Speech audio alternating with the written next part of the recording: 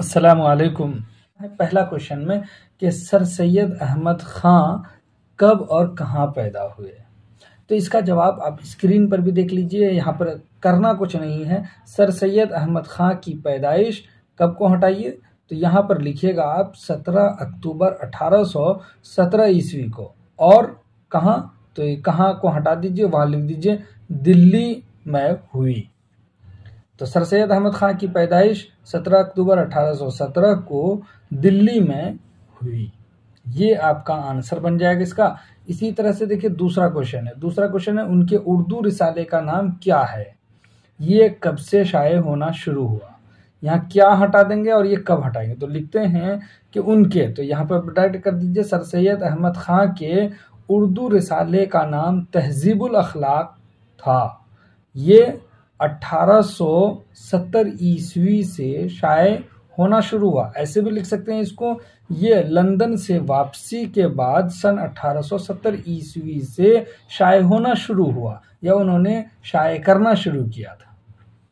अब इस तीसरा क्वेश्चन है, अलीगढ़ में कायम होने वाले उनके मदरसे का क्या नाम था? ये मदरसा कब कायम हुआ?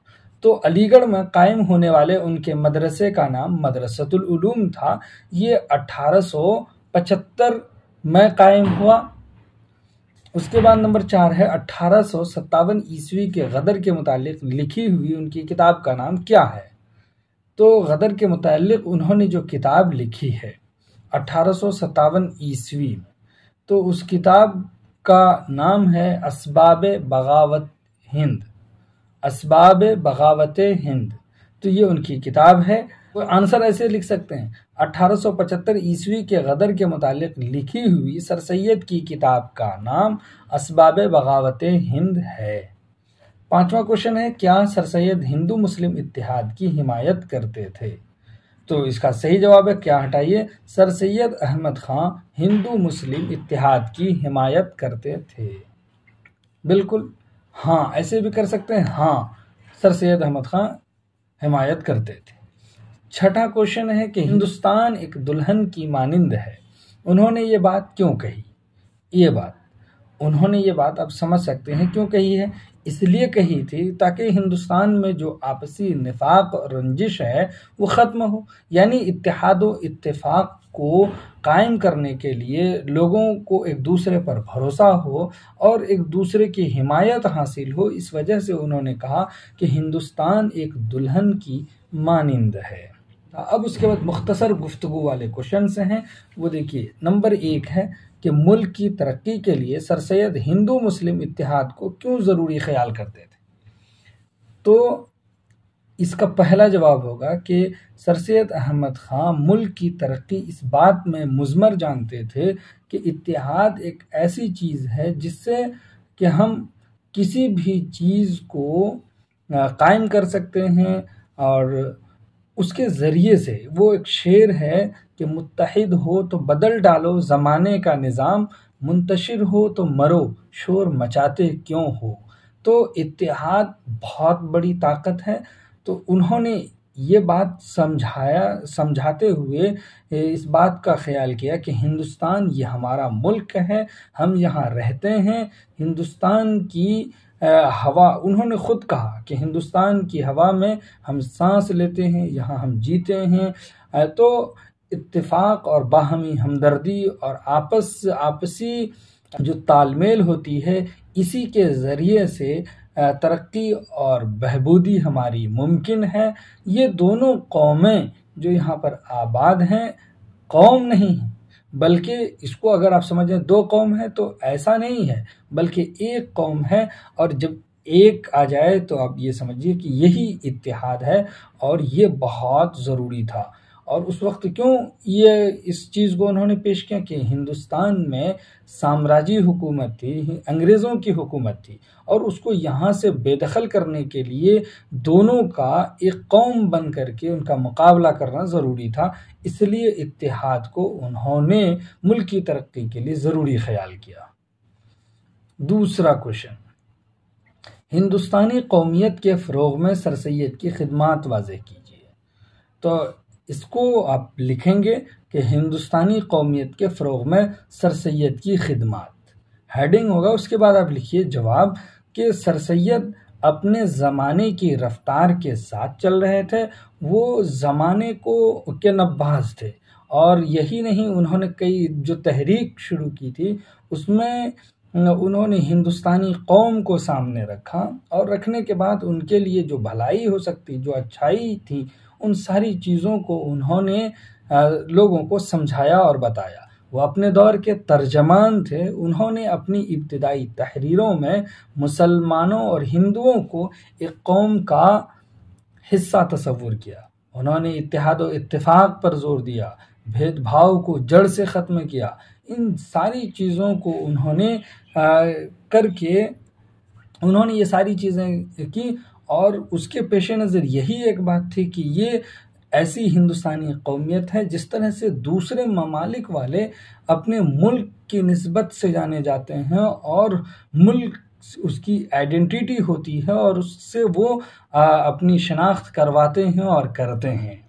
तो दोनों कौमें हिंदुस्तान की धरती पर मुख्तलिफ़ मकाम पर जो आकर बसी थी खा वो हिंदू हों या मुसलमान हों तो ये दोनों दो कौम नहीं थी, बल्कि एक कौम है और इसके कौमियत को इन्होंने उजागर किया है। उसके लिए जो कुछ करना पड़ा है खाह वो तालीमी तहरीक के रूप में करना पड़ा हो खा वो उनको सही माशरा और सही राह दिखा करके तो उसके लिए उन्होंने खिदमात पेश की हैं। इसी तरह से तीसरा क्वेश्चन है, सर सैद की हयात के ताल्लुक से आप क्या जानते हैं? बताइए। उनकी ज़िंदगी के बारे में आप क्या जानते हैं?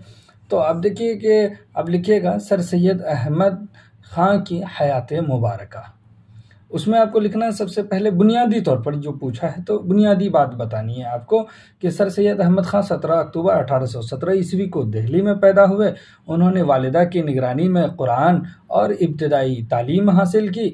उसके बाद वो लंदन भी गए हैं। वहाँ और लंदन जाने के बाद वहाँ के निज़ाम को, माशरे को देखा और ये, यहाँ हिंदुस्तानी कल्चर से आप वाकिफ़ थे, तालीमी, सियासी और समाजी खदमात में अहम रोल अदा किया।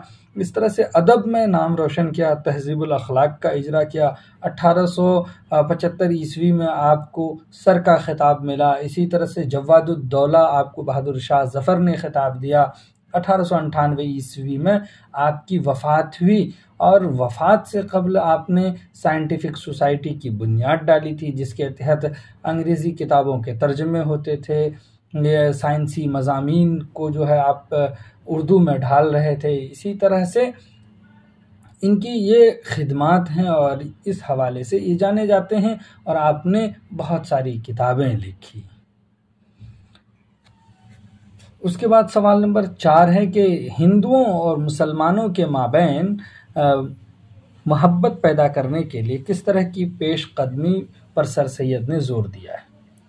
तो उन्होंने एक लफ्ज़ में आप कह सकते हैं कि हिंदुओं और मुसलमानों के माबेन मोहब्बत पैदा करने के लिए सर सैद ने, यानी सर सैद की निगाह में ये बात सबसे ज़्यादा अहम थी कि इतिहाद हो और इत्तेफाक हो आपस के निफाक और ज़िद्द अदावत रंजिश दूर करने आ, से ही आ, ये चीज़ें यानी मोहब्बत पैदा हो सकती है उन दोनों के दरमियान। और एक दूसरे की जो बदखाही करने आ, करते हैं उसको ख़त्म करने पर सर सैद ने ज़ोर दिया और इसमें पेश कदमी की है आपने।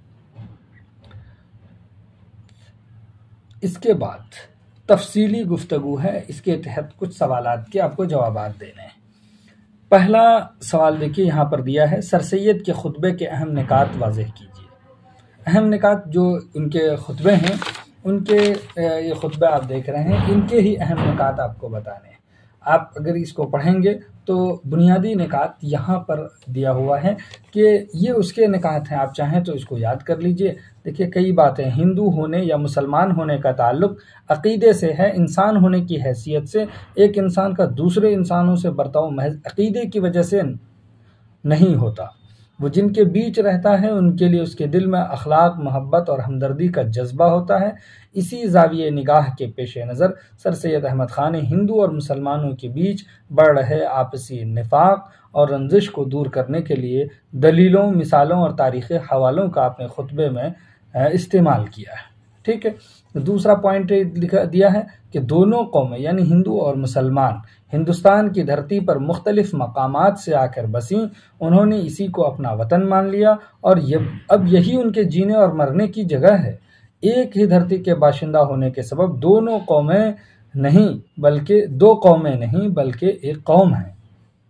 तीसरा पॉइंट है कि मज़हब और अकीदे से अलग, मखसूस जोग्राफियाई हदूद में बसने वाले इंसानी ग्रोहों को एक कौम करार देना सर सैद अहमद ख़ां की रोशन ख्याली और वसी नज़री की दलील है। हिंदुओं और मुसलमानों के जिस इज्तिमा को उन्होंने ख़िताब किया, आसान लफ्ज़ों और समझ में आ जाने वाली सामने की मिसालों के ज़रिए सबको कायल करने की कोशिश, इसके वाक़ता दूर रस नतज सामने आए। तो ये जो उसके बुनियादी निकात थे, ये तीन पॉइंट आपको लिख लेना है उसमें कि उसके क्या निकात अहम हैं। इसी तरह से अगला क्वेश्चन क्वेश्चन है कि सर सैद की तालीमी खदमात पर रोशनी डालिए। सर सैद ने तालीम के लिए क्या किया है? तो देखिए, सर सैद अहमद ख़ान ने तालीम के लिए बहुत जद्दोजहद की। वो चाहते थे कि मुसलमान जो कौमें हैं, वो पढ़ लिख कर आगे बढ़ें। उसके लिए उन्होंने साइंटिफिक सोसाइटी की बुनियाद डाली। उन्होंने ये मदरसतलूम की बुनियाद डाली। मदरसतुलूमिया देखिए। और जो आगे चल करके मोहम्मदन एंग्लियो ओरिएंटल स्कूल और कॉलेज बना और उसके बाद फिर यही 1920 ईस्वी में अलीगढ़ मुस्लिम यूनिवर्सिटी में तब्दील हो गया। ये उनके तालीमी खदमात हैं। यहाँ पर देखिए, जहाँ पर भी आप रहे हैं, कुछ ना कुछ इसलाह का काम किया है। गाज़ीपुर में थे तो साइंटिफिक सोसाइटी की बुनियाद डाली। फिर जब आप अलीगढ़ चले आए तो यहाँ पर आपने रिसाला जारी किया। रिसाला जारी करने के साथ साथ मदरसे की बुनियाद डाली और वही आज अलीगढ़ मुस्लिम यूनिवर्सिटी है। ये उनकी खिदमात हैं। ये एक बात यहाँ पर भी लिखा है सर सैद ने अपने वतन और अपनाए वतन, बिलखसूस मुसलमानों के लिए बड़ी कुर्बानियाँ दी। मुसलमानों को गदर के सदमे को भुलाकर जदीद तालीम की जानब रागब किया। ये बात आपको नोट करनी है। अब अगला क्वेश्चन, देखिए क्या है यहाँ पर। अगला क्वेश्चन है कि क्या सर सैद अहमद ख़ान जदीद हिंदुस्तान के मैमार हैं? दलीलों के साथ वाजे कीजिए। जदीद हिंदुस्तान के मैमार यानी जदीद हिंदुस्तान का मतलब ये है कि हिंदुस्तान में अंग्रेज़ों की हुकूमत थी, अंग्रेज़ जब चले गए तो इसको एक जदीद हिंदुस्तान मान लिया गया। हिंदुस्तान और पाकिस्तान का बंटवारा हो गया। पाकिस्तान इससे अलग हुआ तो इसको एक तरह से मॉडर्न इंडिया तस्वुर किया गया। यहाँ के लिए आपको एक मेमार तस्वुर किया गया, यानी फाउंडर। तो उसके बारे में क्या ये बात जो कह रहे हैं क्या सही है? बिल्कुल इससे हंड्रेड परसेंट आप इत्तेफाक करेंगे। जदीद हिंदुस्तान के मेमार हैं। तो उसको दलील से बताना है। देखिए, पूरे मुल्क को इल्म की शमा से रोशन करने का काम किया। पहली बात तो यही होगी कि आप ये दलील दे सकते हैं। उन्होंने किताबें लिखी साइंटिफिक सोसाइटी की बुनियाद डाली। इसी तरह से मोहम्मदन एंग्लियो ओरिएंटल कॉलेज का क़्याम किया। तालीमी बदहाली को दूर करने की फ़िक्र करते थे, सोचते थे, उसके लिए दौरे करते थे, उसके लिए तकरीरें करते थे, उसके लिए लोगों को, की मदद भी करते थे। और इस यही वजह है कि आपने कहा था, एक हाथ में साइंस और फ़लसफ़ा तो दूसरे हाथ में कुरान पाक और माथे पर ला इलाहा का ताज देखना है। ये सब दलीलें हैं। आपका अभी सामने की चीज़ ये कह सकते हैं, अलीगढ़ मुस्लिम यूनिवर्सिटी, उसी का एक नतीजा है। ये सबसे बड़ी दलील है। और नंबर चार में है कि जिस तरह हिंदुओं की शरीफ कौमें इस मुल्क में आईं, उसी तरह हम भी इस मुल्क में आए। क्या सर सैद का ये ख्याल एक तारीख़ी हकीकत है? बिल्कुल आप जानते हैं कि हिंदुस्तान में आर्या एक कौम थी जो धीरे धीरे आकर यहाँ आबाद हुई। आबाद होने के बाद उन्होंने यहाँ पर हुक्मरानी की, गोया के बाहर से हिंदुओं की शरीफ कौमें आई।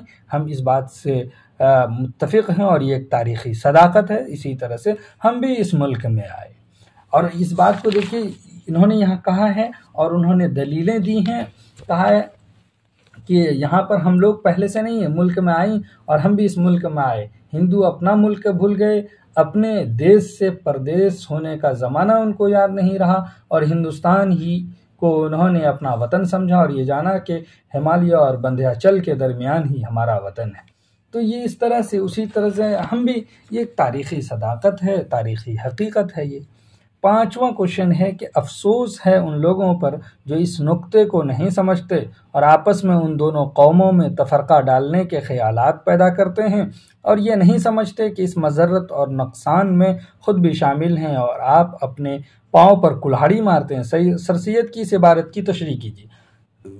तशरी बिल्कुल आसान है, यानी इस बात से आप समझ क्या रहे हैं? आप यहाँ शुरू में लिखिए सबसे पहले सर सैद अहमद ख़ां की तकरीर का ये एक इकतबास है, पैराग्राफ है, जो यहाँ पर दर्ज किया गया इस इकतबास में या इस इबारत में सर सैद अहमद ख़ां कहना ये चाहते हैं कि हमें बहुत अफसोस है, बहुत तकलीफ़ है इस बात पर कि लोग आखिर ये बात समझते क्यों नहीं हैं कि वो आपस में ही लड़ते और झगड़ते हैं। जबकि दोनों कौम एक हैं और उसके ख्यालात अलग अलग हो सकते हैं, जुदा हो सकते हैं, लेकिन बुनियादी चीज़ों में इख्तलाफ करने की गुंजाइश नहीं है। और वो ऐसी बातों को लेकर अड़ जाते हैं जिससे कि मतभेद होता है और उसके बुनियाद पर वो लड़ते हैं और एक दूसरे से कत ताल्लुक़ कर लेते हैं। तो उस बात को समझना है कि लोग हमारे दरमियान जो फूट डालने वाली बात करते हैं, उससे किनारा कश होकर के अपने उस बुनियादी समाजी उसूल को लेकर के चलना है। तो उससे क्या होगा कि वो हमारे लिए सूदमंद है, वही इत्तेहाद और इत्तेफाक की चीज़ है और जो हम दूसरे की चीज़ को लेकर अड़ जाते हैं, अपने में फूट डाल लेते हैं, आपस में नफाक पैदा हो जाता है, एक दूसरे से दूरियाँ हो जाती हैं और उसी चीज़ को कह रहे हैं कि अपने पाँव पर कुल्हाड़ी मारते हैं। यानी खुद ही उससे उसको नुकसान होता है, अपना नुकसान खुद करते हैं। तो इस तरह से इस इबारत को आप वाजह कर सकते हैं। उम्मीद की ये बात समझ में आई होगी।